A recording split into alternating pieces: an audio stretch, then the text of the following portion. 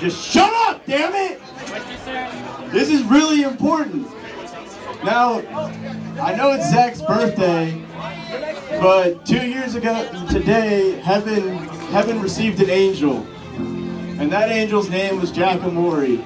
And I know that the left-wing media and the Clinton News Network, they're gonna spread lies that Jack died trying to do that thing where you sit on your hand till it falls asleep and then jack yourself off. Real. But that's not true.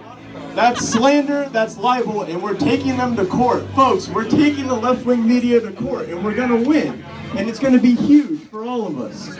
But no, Jack, Jack was in D.C. two years ago today, fighting, fighting to save our country, fighting to save, fighting, yeah, he was like that. He loves, he loves America.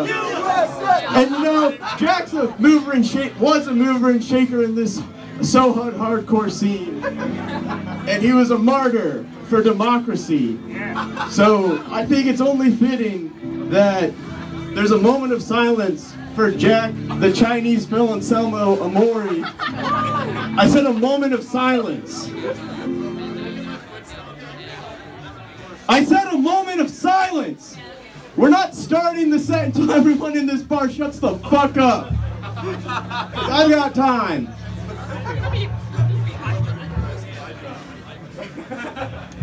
It's only a bit, Ilya.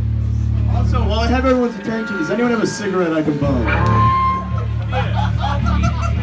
Wouldn't it be crazy if someone smoked a cigarette on stage? That'd be the wildest thing to have. That'd be the craziest drug to do in Dirty Dungarees. Am I right?